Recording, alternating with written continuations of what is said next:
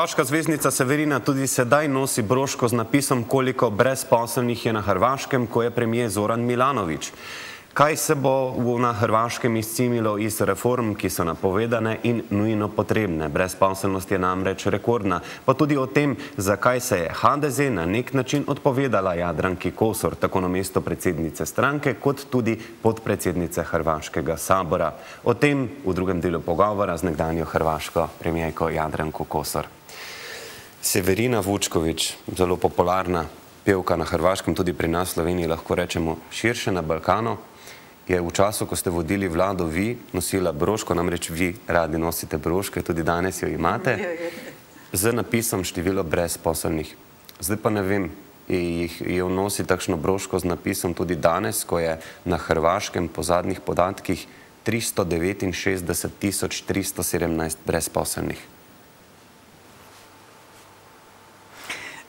Ne, ne, ne, ne, ne nosi gospođa Severina Vučković e, više broševe e, od tada, ali čujte, to je, ne bih to posebno komentirala, to je neka prošlost. E, dok sam ja bila premijerka, bilo je puno različitih provokacija, naravno i provokacija naprosto zbog toga što sam žena, pa je to ovaj da bio bio zgodan štos, budući da sam ja nosila i nosim broševe, da se onda mene upozori.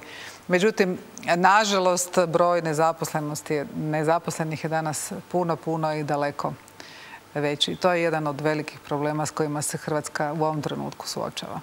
Mhm.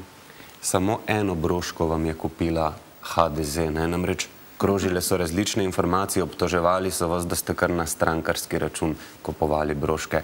Eno mislim, da je stala približno 6-7 tisoč kun oziroma nekje 665 evrov drži. Da, naravno da meni moja stranka nije kupovala broševe. radi se o evo, jednom računu koji je netko iz stranke sada u vrijeme novoga vodstva poslao jednom dnevnom listu Zanimljivo je da se tamo zapravo i ne vidi da je kupovan broš i za, koga. Dakle, svakako ne piše da je za Jadranku Kosor.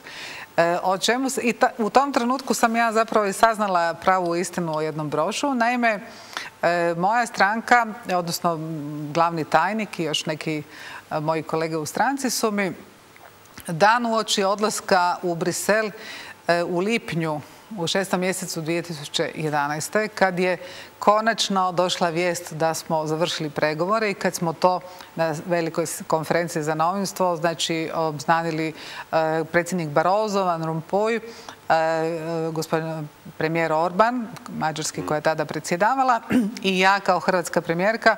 Hrvatska je, znači povijesni trenutak, Hrvatska je završila pregovore i dan prije odlaska u Brisel e, su mi uručili Broško je izrađen za tu priliku i on se naravno može vidjeti na internetu danas. Znači ja sam imala nešto bijelo, taj broš je bio sa elementima hrvatskoga i naravno Evropske unije i ja sam zaista e, mislila da je to broš koji su mi kupili moji kolege. E, sad kad je taj račun bio došao u javnost e, sam saznala da je to evo kupljeno u stranci, što ne vidim ništa, spornoga u tome. Dakle, činjenica je da taj broš nisam naručila, nisam tražila, ali sam ga s ponosom stavila e, jer mislim da je, to, da je broš Baby bio zaista lijep i da je to bio povijesni trenutak. I ti kadrovi će, ako sve bude u redu, sigurno sam da hoće, ponovo 1. srpnja ove godine ponovo obići cijelu Europu jer će se vjerojatno podsjetiti i na taj trenutak. Tako da ne da nije bilo ničega spornog, da pače, ja mislim da e, je to e, iznimno važan trenutak bio za HDZ, jer je HDZ bila stranka koja je vodila vladu na čelu sa mnom u trenutku kad je Hrvatska deblokirala pregovore, završila pregovore. Zadnjih 25 mesecev oziroma zadnjih, lahko rečemo 13-14 mogoče natančneje mesecev, je bilo v vaši politični karieri izjemno stresnih. Najprej ste seveda konec leta 2011 s HDZ izgubili parlamentarne volitve. Zmagala je v bistvu Kukuriko uh, koalicija. Ja. SDP vodi vlado. Potem ste bili uh, konec decembra imenovani za podpredsednico sabora. 19. maja izgubite v bistvu volitve, pet kandidatov je bilo za predsednika HDZ, postane Karamarko po 19 urah glasovanja, potem pa se vam v juniju, 15. junija lani, stranka odpove še, da vi in gospod Vladimir Šeks ne boste več zastopnika HDZ-a kot pred, podpredsednika Sabora. Je najprej vprašanje, HDZ s Karamarkom zdaj se pomaknila bolj desno, je postala bolj radikalna stranka. Kaj pravite? E, najprije vam čestitam, izvrsno ste informirani. Hvala. E, da, zaista znate sve detalje. E, moj, moje načelo i nešto što sam se ja sama sa sobom dogovorila jest da još uvijek neću komentirati novo vodstvo HDZ-a. Naime, više nije novo vodstvo, od petog mjeseca prošle godine je već dosta vremena. E, dakle, još uvijek neću komentirati i e, pogotovo naravno e, neću komentirati u drugoj državi, u inozemstvu. Neću komentirati ni poziciju HDZ-a danas, nego samo mogu reći činjenice. Prva jest vezano za pitanje kako smo ušli, zapravo izgubili izbore. Dakle, HDZ, iako sam ja bila predsjednica stranke i vlade dvije i pol godine i ja mislim da se u to vrijeme puno dobrih stvari dogodilo. Dakle, puno, novih promjena. Na kraju završili smo pregovore, reformirali pravosuđe, žestoko otvorili borbu protiv korupcije i kriminala u ovom političkom smislu. Znači da sam ja kao premijerka, ali moja vlada da i moja stranka davali čvrstu potporu borbi protiv korupcije bez obzira na ime i prezime, bez obzira na poziciju i bez obzira je li netko bio član moje stranke ili nije. I mislila sam da je to velika stvar zato i veliki korak naprijed zato što je naj, najteže, ali i najvažnije da stranka koja je na vlasti, kako sam ja to tada govorila, čisti svoju kuću. Lako je čistiti tuđu, ali moraš čistiti svoju. I to je bio jedan, evo, ja mislim, dobar i važan korak e, naprijed. Dakle, mi smo, kao, ponavljam, bez obzira što sam ja bila dvije i pol godine tek na čelu vlade i stranke. Mi smo kao stranka ukupno tražili treći mandat za redom. Išli smo u izbore gdje se tražio treći mandat, uzastopni mandat. To, kao što znate, i rijetko koja stranka u svijetu i u Europi dobiva. E, mi smo e, bili stranka koja smo vodila zemlju u krizi. Znači, HDZ je bio na čelu vlade u vrijeme teške krize. 2009. nam je BDP pao 6%. E, država je bila doslovce na koljenima. Znam, sve znam. Ali ja govorim sad o Hrvatskoj. Prema tome, da, ali stranka koja je vodila zemlju u, krizi, rijetko koja stranka je, evo pogledajte, zemlje u Europskoj uniji, dobivala izbore. Naprosto ljudi žele promjenu. Žele, pa evo, to je primjer i Slovenije. Žele promjenu jer misle da će bolje, biti bolje. I drugo, HDZ je zbog te čvrste borbe protiv korupcije bio ovaj, pod istragom kao stranka, u konačnici bivši premijer optužen e, i neki drugi članovi HDZ-a. Prema tome, mi smo išli sa tim teškim teretom u izbore. I naravno da je bilo izvjesno da ćemo te izbore izgubiti, ali kao stranka koja smo završili pregovore, mislim, ja sam mislila da imamo veliki kapital za budućnost.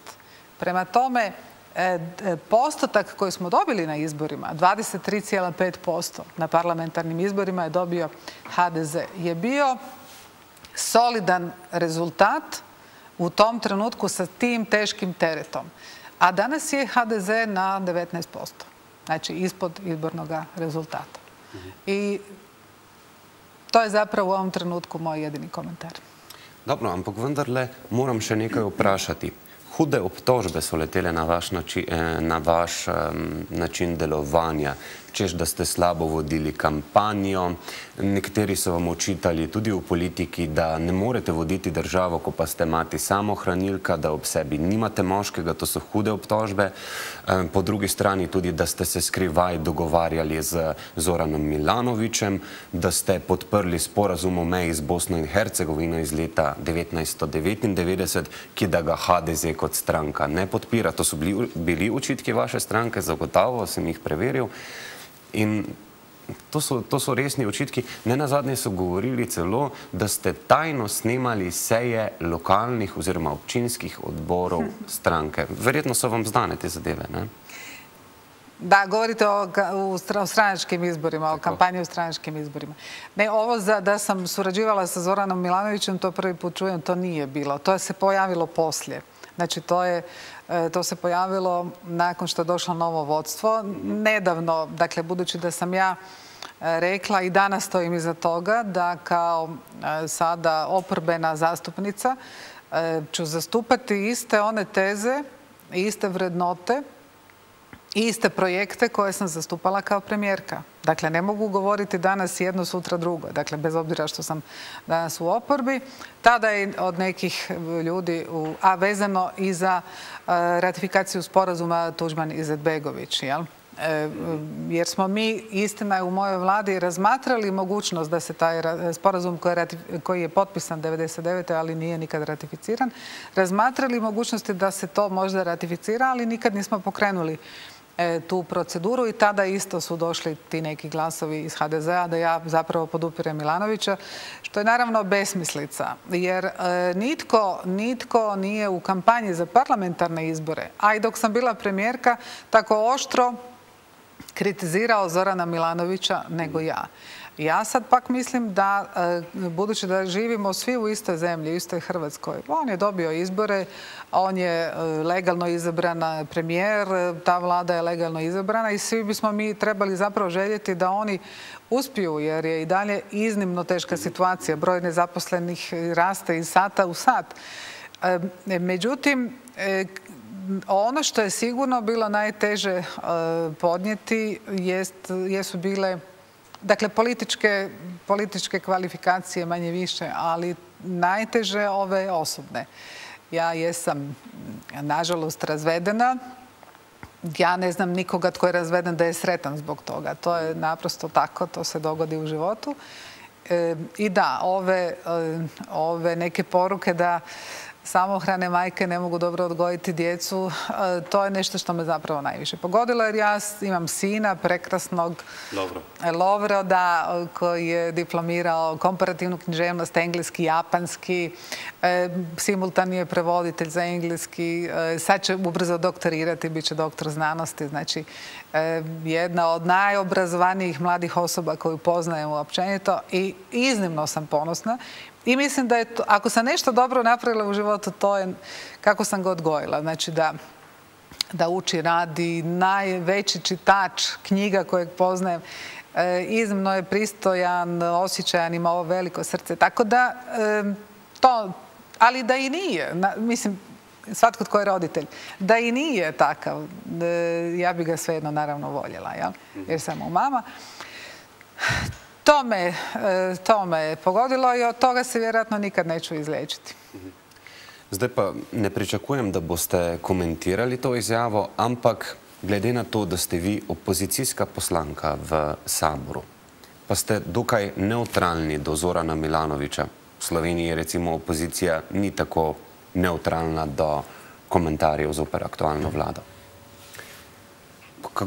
Kaj prispeva k političnim strastem na Hrvaškem nedavna izjava pomožnega zagrebskega škofa Valentina Pozajiča, da bo potrebna nova nevihta, da se komunisti odstranijo z oblasti? To so hude reči. Da, ja nisam, da ne bi bilo ovaj, bilo kakvog nesporazuma. Ja naravno sam vrlo kritična prema gospodinu Milanoviću, recimo posebno u ovom odnosu ovog problema e, sa Slovenijom koji nikako se ne rješava. Ja mislim i ja to stalno govorim, to je, e, on mora shvatiti da je to prije svega njegov problem i da ga on mora riješiti. Jer u slučaju kad bi se dogodilo, što sam sigurna da neće, da e, Slovenija iz različitih razloga, a pa makar i tehničkih, ali svakako političkih u konačnici, ne ratificira ugovor. I kad, ne daj Bože, mi ne bismo 1. srpnja ušli Europsku uniju, to bi značilo u Hrvatskoj sasvim sigurno pad vlade. I toga, e, toga svi moraju biti svjesni. Ali onaj koga prije svega treba kritizirati, odnosno koji treba biti konstruktivna oporba, to je to je sadašnje vodstvo HDZ-a, jer oni, ja nisam lider oporbe, a što se tiče ovoga, e, naravno, ja sam nedavno, neki dan u jednom intervju e, rekla da, da je to zaista teško, teško slušati. Naime, radi se o e, žestokom okršaju između vlade i aktualnog ministra, prije svega obrazovanja i crkve. Pa je tu bila i evo jedna izjava, nekoliko izjava biskupa. Međutim, ja, moje mišljenje, ja gledam, zaista nastavim gledati objektivno sa strane. ništa se ne bi dogodilo naprosto da je ministar E, učinio ono što je nužno. Dakle, ministar Jovanović, on, ja mislim, inače, ja osobno mislim da je zdravstveni odgoj nešto dobro. Mhm. E, ali da naravno, što se tiče naravno spolnog odgoja, da tu ima stvari koje bi trebalo, o kojima bi kako trebalo razgovarati. I dužnost je ministra, e, jer ministar je onaj koji služi.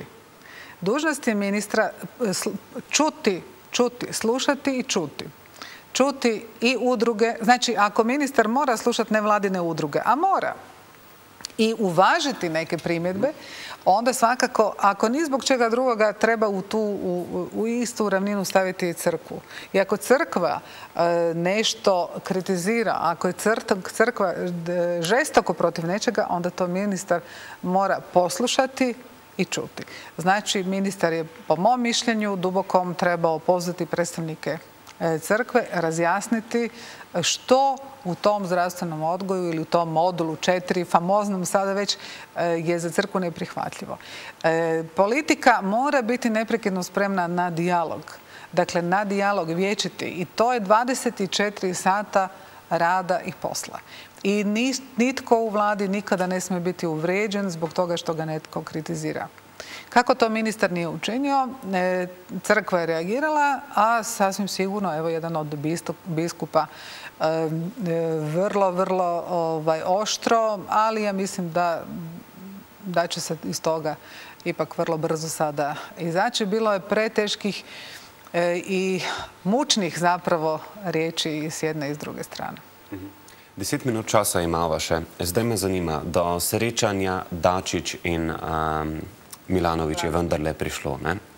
Zdaj, ali pod pritiskom Evropske unije ali oboje stranska želja v bistvu na podlagi telefonskega pogovora, kar je v bistvu uradna razlaga, zdaj niti ni pomembno.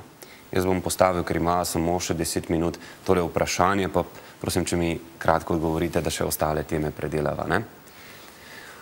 Kako pomembna oziroma ali boste lahko Republika Hrvaška in Srbija stopili preko na nek način bremena, ki ga za eno stran in drugo stran prinaša sodba, oprostilna sodba Haškega sodišča zoper Gotovino in Markača, ko je bil najprej Markač obsojen torej na 18 let, Gotovina 24, novembra lani pa oprostilna sodba kako težko breme je to za prihodne odnose, gospodarsko sodelovanje, 700 milijonov evrov je samo zdaj recimo blagovne menjave, ne vem, pomoč Hrvaške potem pri vstopu Srbije v Evropsko unijo in tako naprej. Kakšen vpliv ima to po vašem? E, ne može biti bilo kakva prepreka ili teret e, odnosa između Republike Hrvatske i Republike e, Srbije, a oslobađajuća presuda hrvatskim generalima u Hagu. E, to nikako, zato što svaka pravna država, a ja želim vjerovati da Srbija, Republika Srbija to jest i svakako želi biti i želi tu pravnu državu jačati, mora poštovati odluku svakoga suda, bilo kojeg suda. Znači, to je konačna odluka. Konačna odluka svakoga suda se u politici u načelu ne e, komentira ja sam pravnica pa, dakle, ne komentira se od rimskog prava do, do današnjih dana. Ampak se komentira. A pogotovo odluku suda kojeg je osnovao, uh, osnovala institucija koja se zove Ujedinjeni narodi. Ujedinjeni narodi su osnovali Haški sud. Prema tome, e, evo sad je tamo jedan od visokih dužnosnika Vuk Jeremić, ja? Mhm. E, koji naravno to i tekako bi morao umjesto da svira marš na drinu, u zgradi Ujedinjenih naroda tumačiti srpskoj javnosti da je to tako i da je to odluka suda koja je za uvijek i ne može se ta odluka suda preispitivati. Naime, odluka suda je rekla da su naši generali, hrvatski generali koji su vodili naravno velike i važne akcije oslobađanja Hrvatske, oslobađanja Hrvatske, jer Hrvatska je bila, sjetite se, jedan veliki dio Hrvatske je bio okupiran i da su, da su ti ljudi nevini. E, prema tome, to po mom mišljenju ne može biti nikakav teret. To je činjenica i e, nakon te činjenice treba ići dalje. Da pače, mislim, ima e, veliko, veliko, teško breme koje je preostalo iz tog vremena rata, odnosno agresije na Hrvatsku. Ja to ponavljam još jedan put, zato što se to kad kada zaboravlja tko je bio agresor, a tko se branio. Dakle, to je pitanje nestalih osoba, kao nulto pitanje. I to pitanje, ako Republika Srbija, ako premijer Dačić zaista hoće pokazati snagu i odlučnost da se ti, ta, ti odnose sada poprave, da se odlede, kako on kaže, da se ide naprijed. Inače, ja mislim da je Zoran Milanović dobro napravio, što je išao u Beograd. Po mom mišljenju najprije treba doći u Ljubljanu, pa riješiti ovo pitanje koje je za nas sudbinski važno da uđemo u Europsku uniju, ali je svejedno ovo bilo jako važno. Međutim, kažem, pitanje nestalih. E, naravno, tu je pitanje e, tužbe, tužbi između dvije države i na tome treba i tekako, kako bih rekla, hladne glave, vrućeg srca i dalje raditi. Tako da presuda generalima koja se u Srbiji tumačila vrlo u najmanju ruku neobično, gdje je naravno politika dopustila tu prije svega mislim na predsjednika države, predsjednika Nikolića, politika je dopustila da se rasplamsaju strasti. E, običan čovjek ne mora ni u jednoj državi razumjeti što se stvarno dogodilo. Ali politika je tu koja mora tumačiti. Ovo je sud koji osnovali su Ujedinjeni narodi. Sud je presudio i, i naprosto to treba prihvatiti kao povijesnu činjenicu. I sam, za sam kraj, i tu povijesnu činjenicu da se Hrvatska samo branila i da Vukovar primjerice, koji je simbol patnje e, Hrvatske u domovinskom ratu, da su na Hrvatsku, nad Hrvatski Vukovar tenkovi išli iz Beograda, a ne obrnuto. Mhm. Samo še to poprosim res v enem stavku, če mi odgovorite, ker še malo preprijetnih tem za konec oziroma vprašanj. Ne? Ko sta se Gotovina in Markač vrnila v domovino. Je bilo to slavje domovinsko ali nacionalistično? Zakaj sprašujem nacionalistično? Ker ko sem gledal na televiziji intervju, so fanta starega 15-16 let vprašali, kaj slavi, pa ni vedel. A morajo biti nove generacije Hrvatov obremenjene s tem vprašanjem? Vojne, kjer? Tako ali tako bila boleča? Na Balkanu, krvava. Da, možda ste evo, od mnogih anketiranih vidjeli nekoga tko možda nije znao. Ono što, ja sam inače vrlo, vrlo kritična preka, prema svakom izljevu mm, nečega što, što bih smatrala neprimjerenim. Dakle, sa bilo koje strane. Vrlo sam kritična. Iako sam, kao što znate, bila i ministrica hrvatskih branitelja, i znam dobro koliko su ljudi, e, pratila sam i prognanike, izbjeglice, koliko su ljudi propatili zbog veliko srpske ideje, jer to je bilo u osnovi, to, to znate vi i vi dobro u Sloveniji. Međutim, e, dakle, pratila sam jako pozorno doček, e, ako se sjetite 2011. treći još general bio, gospodin Čermak je bio, on je tada oslobođen. Ja sam tada kao premijerka poslala odmah Vladin zrakoplov u Hag i isto poslije podne sam ga dočekala također u Zagrebu.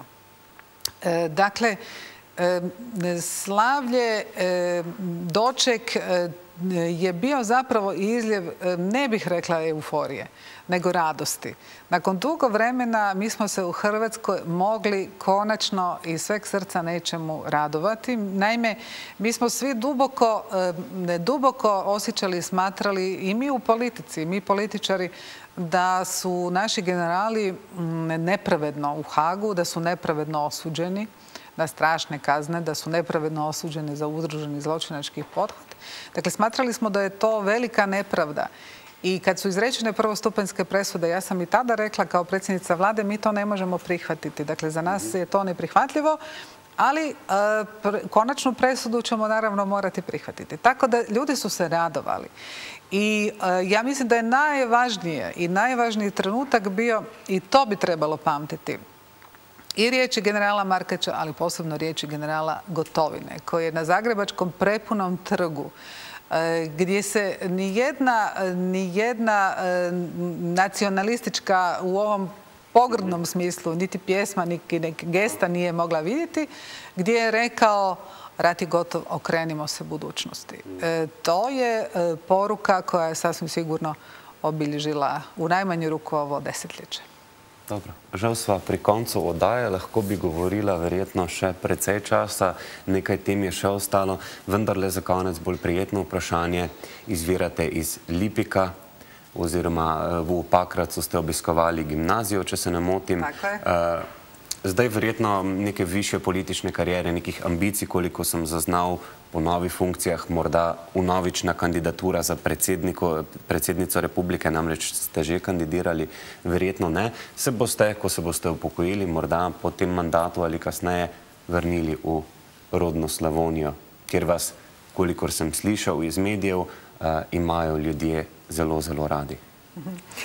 Da, je e, lijepo da ste se sjetili tog mog kraja gdje sam rođena i odrasla, zato što je to isto prekrasan kraj koji je, žestoko stradao isto u ratu i za Vukovara e, naj, najoštećeniji. E, u Hrvatskoj, ne, neću se vraćati tamo.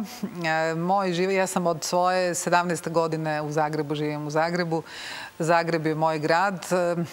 Tu mi naravno živi sin Neću se vraćati, ali ću svakako gledati e, svaki slobodni trenutak, malo provesti e, u svom kraju. A što se tiče političke budućnosti, ja e, nekako mislim da nikako nisam za neku vrstu političke mirovine, jer sam radoholičar. Dakle, ja ovaj, uživam raditi. Mislim da sa svojim iskustvom koje je sada već veliko političko iskustvo sa političkim znanjem, jer ja mislim da je politika zanat, da se to isto mora učiti i peći da još mogu ponešto reći u hrvatskoj politici.